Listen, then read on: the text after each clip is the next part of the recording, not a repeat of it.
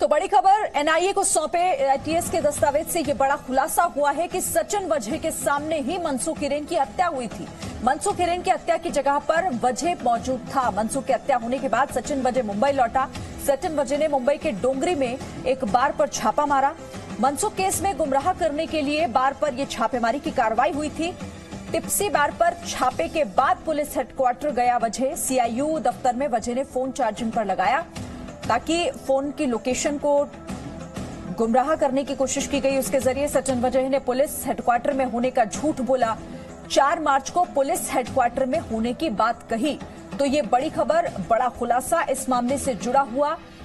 मनसुख हिरेन की जब हत्या हो रही थी तो उस वक्त वहीं पर मौजूद था सचिन वजह। यानी सचिन वजह के सामने ही मनसुख हिरेन की हत्या की गई है और जो दस्तावेज़ एटीएस की तरफ़ से सौंपे गए हैं एनआईए को, उसी आधार पर यह खुलासा हुआ है। सूत्रों से बड़ी जानकारी मिल रही है कि हत्या के बाद डोंगरी के बार में छापेमारी की कार्रवाई के लिए गया था।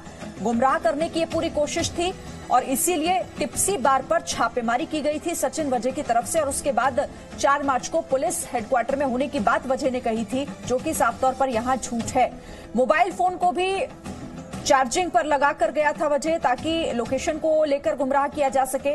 ये जो एटीएस ने दस्तावेज़ सौंपे हैं एनआईए को उन तमाम दस्तावेजों के आधार पर सूत्रों से ये जानकारी मिल रही है कि ये खुलासा हुआ है। मनसुख हिरेन की हत्या जब हुई, उस वक्त सचिन वजह वहीं पर मौजूद था और उसके बाद वो वापस मुंबई लौटा है। सचिन वजह ने मुंबई के एक डोंगरी में एक बार पर छापेमारी की थी। ये सब कुछ उसने गुमराह करने के लिए कहा। एनआईए को सौंपे गए एटीएस के दस्तावेज़ से ये बड़ा खुलासा हुआ है। बड़ी जानकारी आपको दे रहे हैं। सचिन वजह के सामने मनसुख हिरेन की हत्या हुई है। उन दस्तावेजों के आधार पर यह जानकारी मनसुख हिरेन की हत्या की जगह पर वजह मौजूद था। मनसुख की हत्या होने के बाद सचिन वजह मुंबई लौटा। सचिन वजह ने मुंबई लौटकर एक बार पर जो कि डोंगरी में है, वहाँ पर छापेमारी उसने की। मनसुख केस में गुमराह करने के लिए बार पर छापेमारी की कार्रवाई की गई थी। सचिन वजह की तरफ़ से सूत्रों से जानकारी मिल रही है। टिप्सी बार टिप्सी बार पर छापे के बाद पुलिस हेडक्वार्टर गया वजह तो दो तस्वीरें देखिए, मनसुख का मर्डर, जो कि अभी तक एक मिस्ट्री लेकिन हर दिन एक नया खुलासा, जो कि इसे और उलझा रहा है। वजह की भूमिका को लेकर शुरुआत से ही सवाल परिवार भी उठा रहा था और इस केस की पड़ते जैसे खुली, वो सवालिया निशान सचिन वजह की तरफ़ उठाती रही और अब ये बड़ा खुलासा उन दस्तावेजों के आधार पर सूत्रों से ये जानकारी है कि जो एटीएस की तरफ़ से दस्तावेज़ एनआईए को सौंपे गए हैं, उसके मुताबिक सचिन वजह वही मौजूद था, जहाँ मनसुख का मर्डर हुआ।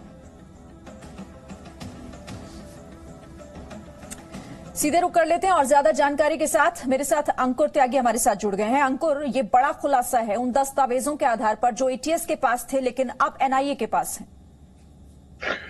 देखिए ये जो स्टेटमेंट था जो वजह ने एटीएस महाराष्ट्र एटीएस को अपनी पूछताछ में दिया था जब स्टेटमेंट रिकॉर्ड करवाया था तब उसने वाली बात कही थी कि मैं तो डोंगरी इलाके में था। आप मेरी मोबाइल की लोकेशन देख लीजिए। हम्म। सबको पता है वो खुद अपने आप में क्राइम ब्रांच का एक ऑफिसर रहा है। बहुत ही शूट किस्म का व्यक्ति है। उसको पता था कि जब अगर मान लीजिए ये जाँच खुलती है तो सबसे पहले व्हाट्सअप लोकेशन या मोबाइल की जो लोकेशन है उससे इस चीज़ को आइडेंटिफाई किया जाएगा कि वो व्यक्ति कहाँ पर था। हम्म। इसी कॉन्फिडेंस में वो लगातार कहता रहा कि मैं तो डोंगरी में था। और इस चीज़ को इस थ्योरी को एस्टेब्लिश करने के लिए वो बकायदा रात के ग्यारह बजकर अड़तीस मिनट पर वो जाता भी है जो डोंगरी इलाका है जो साउथ मुंबई का इलाका आता है वहाँ पर एक बार है टिप्सी बार वहाँ प्रॉपर रेड मारी जाती है।